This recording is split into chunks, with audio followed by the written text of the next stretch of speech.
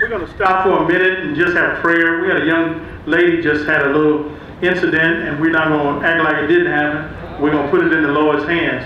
So please pray with me. Gracious God, we come because you know each and every one of us by our whole name. You know our ins and outs, our ups and downs. You know what we're going through. And we're out here because we want to see justice roll and righteousness flow. But right now, Lord, we lift up the little saints who's out here, Lord, trying to stand with us. And we know in this weather that sometimes we lose sight. But we ask you, Lord, to bring your healing hand down and a loving touch. Bless the mother, bless the family, bless us as we gather. It's in the precious name of you, who we know by many names and have met in many places, but namely in the name of Jesus. Amen. Amen. We already know that the system is broken. It has been broken for too many people for too long. Working people are suffering under a three-pronged crisis. Systemic racism and unchecked police violence, public health emergency ravaging the communities of color, and a rigged economy that only works for those at the very top. And that's why we're talking about fair tax, even now in Illinois. The nursing home right here, today we are taking action.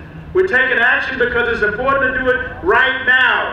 We're using our power to end structural racism and white supremacy and to create an economy and democracy that works for all of us. No exceptions. Everybody, as we say, everybody should be benefiting from this.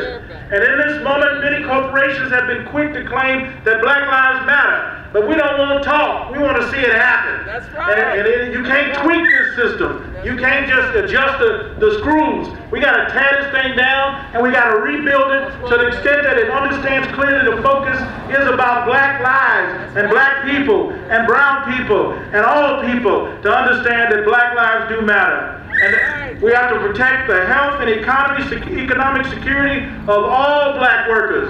And they've talked in particular, as I was standing out here about in this nursing home right here, black women take the brunt of the, of the, the, the risk and some of the challenges that are facing us as, as, as, workers. And we need not to ignore that and need to say it out loud and call it into question. And so we have to understand that black lives do matter. And until black people can thrive, none of our communities can thrive. We're joining together and strike for black lives to demand action to create a better future for all families. We demand action from corporations, the government, and downstate in Springfield and the city of Chicago, to, and communities of color and dismantle racist policies to make sure every family is healthy, safe, and secure. No matter our race, no matter our immigration status, our jobs, where we live, we need to be protected and cared for. We want all want the same things for our families and communities. We want health, and safety and economic security. But we must demand it. We must call for it right now. And that's why we're coming together as workers from across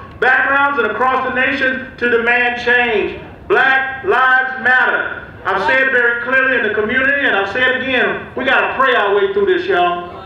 We got to preach our way through this, and we got to teach our way through it. We've got to teach people about legislation and educate them about what are the issues and how they're being acted on, whether it's downtown in City Hall or whether it's down in Springfield. We also have to educate people about what's going on. And we have to work with each other and, to speak to each other. The violence has to stop and we have to control it. We have to begin to take charge of our neighborhoods and our communities because black lives do matter. And I'm thankful to be out here with SEIU, who's always on the case.